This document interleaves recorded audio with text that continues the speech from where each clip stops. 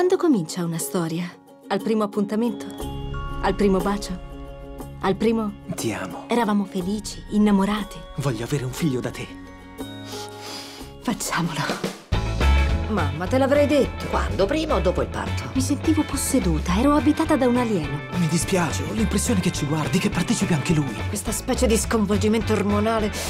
Scopami. Ho voglia di sesso, sogno addirittura di fare una bella orgia, è orribile. Puoi parlare più forte, quel ragazzo là non ha sentito bene. Mi ha dato una cuffia in più. Sono per i piedi, signore. Su, ancora un piccolo sforzo. Ecco, ci siamo.